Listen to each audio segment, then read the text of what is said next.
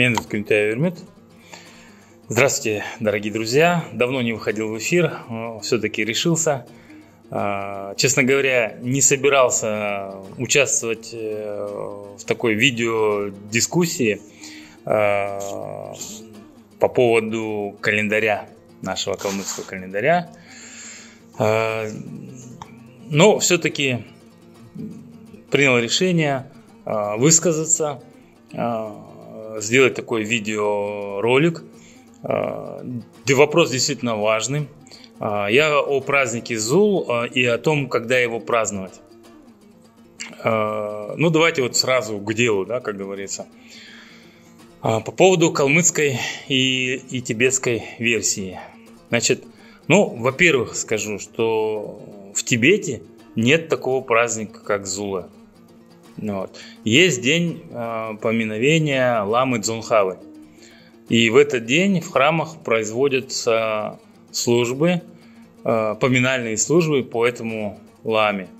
Э, в других буддийских регионах, как в Монголии, в Бурятии, например, да, где э, школа Гелук э, также главенствует, э, в этот день народ э, ничего не празднует. Это день поминовения – и, в общем-то, даже основная масса населения даже не в курсе про этот праздник. Как правило, это ну, такие очень активные верующие, так скажем. Вот они, да, действительно приходят в храмы, э, зажигают лампадки, свечи. Вот. Ну и таким образом, ну, да, участвуют в молебне, поминальной службе по ламе. Вот. Ну и таким образом вот, э, проходит этот день. И повторяюсь, для абсолютного большинства людей это обычный день. А, у нас а, совсем другой, совсем совершенно другой. Это у нас действительно это праздник, во-первых. А, мы прибавляем год жизни. Мы проводим обряд, да, на Сеутулган. И это действительно всенародный праздник. А, в чем отличие? Дело в том, что а, наш календарь и, например, тибетский календарь, на который сегодня любят а, ссылаться, это совершенно два разных календаря. Совершенно два разных. Единственное, вот, э, э, в чем совпадает, это лунный календарь. Но лунный календарь, в лунном календаре нет ничего там сверхсложного. Любой человек, чабан или там мореход, э, или любой просто наблюдательный человек, он может определять сам лунные сутки, а, лунный месяц, а, потому что все видно по циклам Луны, все достаточно наглядно и довольно-таки просто. Вот, поэтому, когда говорят э, китайские, индийские, там, монгольские, тибетские календари, это все довольно условно, это лунный календарь.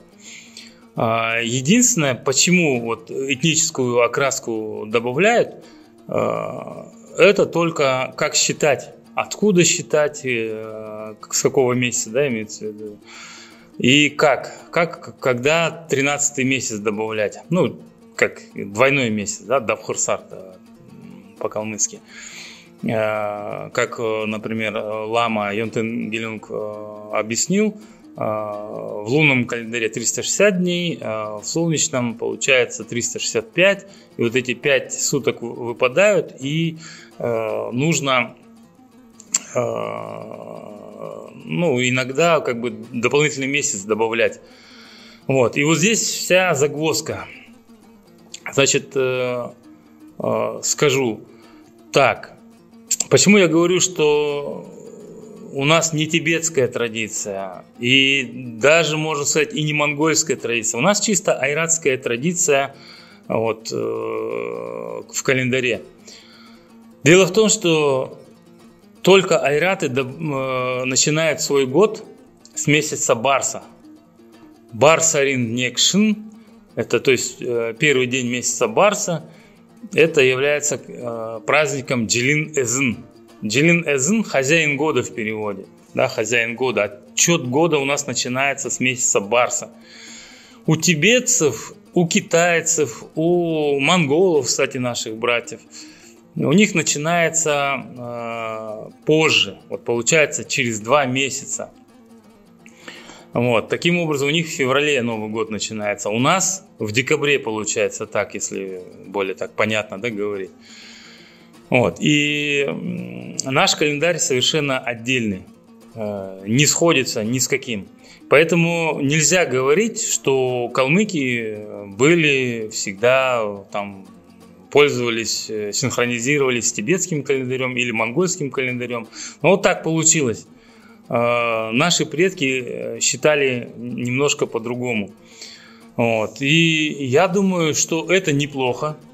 Э, это очень интересно даже, да, это, это показывает нашу уникальность, уникальность именно айратской культуры.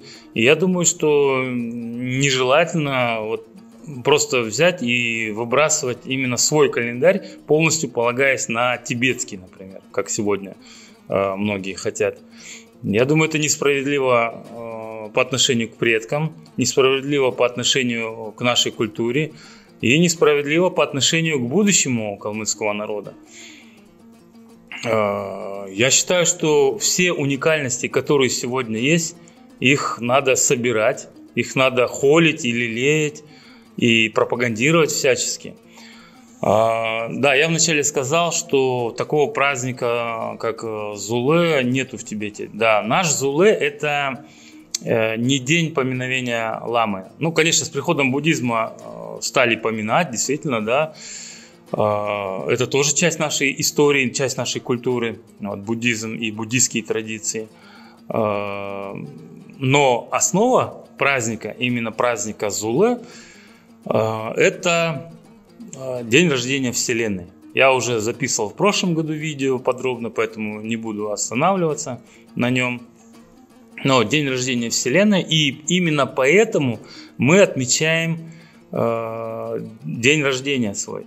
Я вообще хочу сказать, напомнить, может, наверняка большинство не знает, калмыки, например, до революции, это большевистской, не отмечали личные дни рождения, индивидуально не, не, не справляли только вот в праздник Зуле. А, почему? А, Зуле – это день рождения Вселенной, и это как бы обновление, а, обновление энергии во Вселенной. Вот, обновляемся, обновляются энергии, обновляемся мы, поэтому вот день рождения мы отмечаем. Вот, и поэтому в этот день проводится обряд на Саутуван. Это вот именно наша традиция, именно айратская традиция в этот день проводить этот э, обряд. Вот. Ну и еще, да, по календарю, кстати, э, чуть не забыл. Почему я вот думаю, что все-таки 29 декабря это неверная дата. А, ну, во всяком случае, не в нашей традиции. В тибетской, да, я соглашаюсь, тут э, я не тибетец и не знаю тибетскую культуру, поэтому я вполне доверяю нашим уважаемым ламам. Вот. В Тибете, да, 29 декабря будет отмечаться, э, ну, по, по, будут поминальные службы по Ламе Дзунхаре. У нас Зулы это совсем другая традиция. И вот еще почему. Э, дело в том, что я вот еще помню, ну и многие, кстати, вот в социальных сетях я не раз это читал, люди говорят, что старики вот прям утверждали, что Зул не может быть в конце декабря.